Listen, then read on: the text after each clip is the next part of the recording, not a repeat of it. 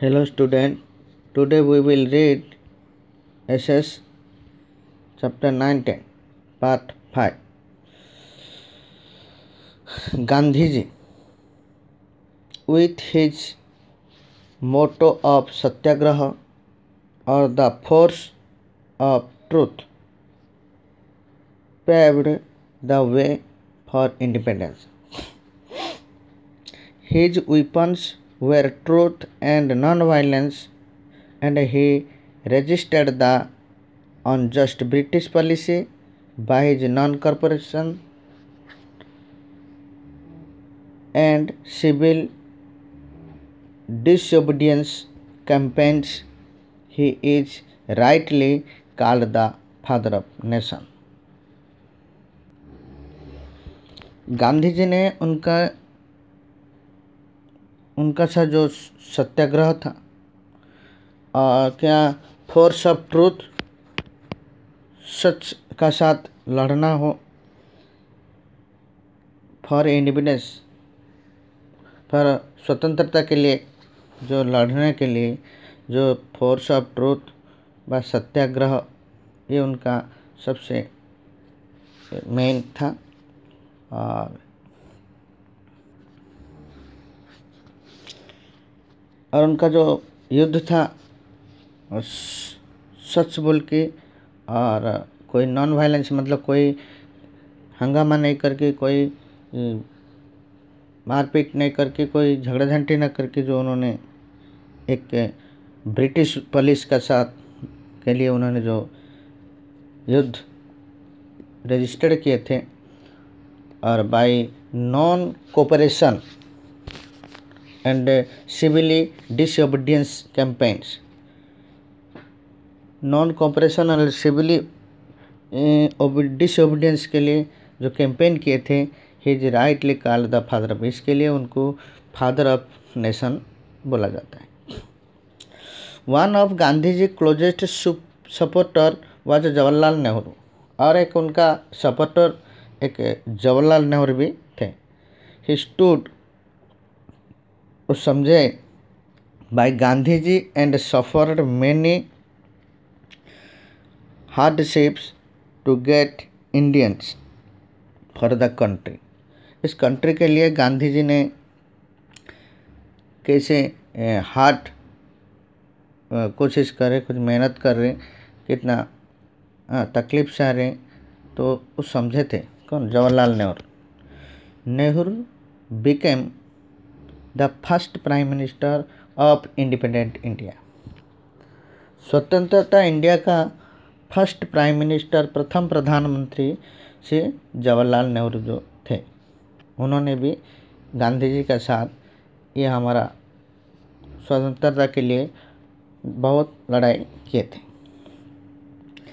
As he loved children dearly he was fondly called Chacha Nehru और वो children बच्चों को बहुत दिल से स्नेह करते थे, प्यार करते थे, इसलिए लोग उनको चाचा नेहरू बुलाते थे। क्या बुलाते थे? चाचा नेहरू नेहरू बुलाते थे। Vallabh Bhai Patel was called the iron man of India. Vallabh Bhai Patel उनको इंडिया का आयरन मैन कहा जाता था। Gandhi ji footsteps and fought for independence वो गांधी जी को भी, उन्होंने भी गांधी जी को फॉलो करते थे और उन्हें footstep and fought for independence और इस स्वाधीनता के लिए, स्वाधीनता के लिए, देश की इंडिपेंडेंस के लिए उन्होंने भी बहुत लड़ाई किए थे। After the country became free जब कंट्री जब देश इंडिपेंडेंस हो गया तो Sardar Patel through his courage and hard work kept the country united. उन्होंने देश के लिए बहुत मेहनत किए थे, कंट्री के लिए, यूनाइट के लिए। बहुत संघर्ष भी किए। ओके? अभी देखते हैं उसमें fill in the blank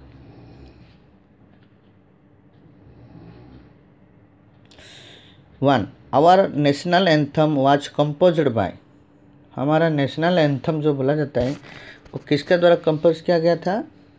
ना उसका आंसर है, Rabindranath Tagore.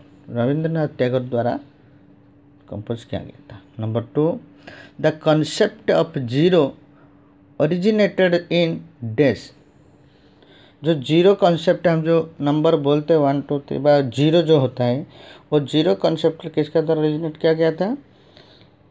Ancient India India में ही ये स्टार्ट हुआ था। The Tata institute of fundamental research was started by Tata institute fundamental research was started by किसका द्वारा आरंभ होता न डॉक्टर हुमी भाभा डॉक्टर हुमी भाभा का द्वारा स्टार्ट हुआ था।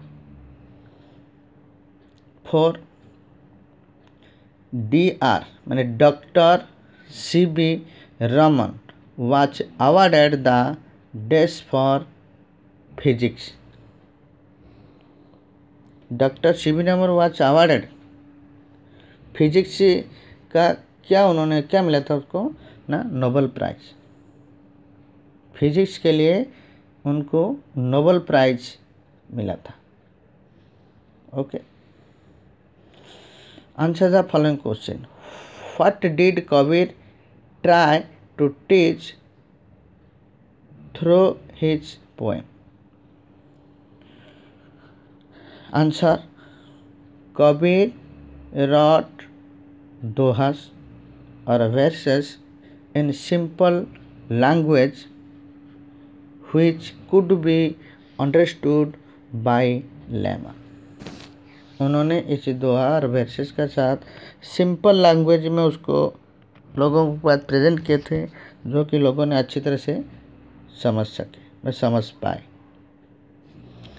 व्हाट डिड शायद अहमद खान वर्क फॉर शायद अहमद खान किसके लिए काम कर रहे थे? Syed Ahmad Khan work to improve the lives the Muslim women. Muslim open कैसे, उनका जो लाइफ कैसे इम्प्रूव करेगा, इसके लिए उन्होंने काम किए थे। He started a college at Aligarh उन्होंने अलीगढ़ में एक कॉलेज स्टार्ट किए थे which later become the which? Which later become the famous Aligarh university उसके बाद वो यूनिवर्सिटी बहुत फेमस हुआ okay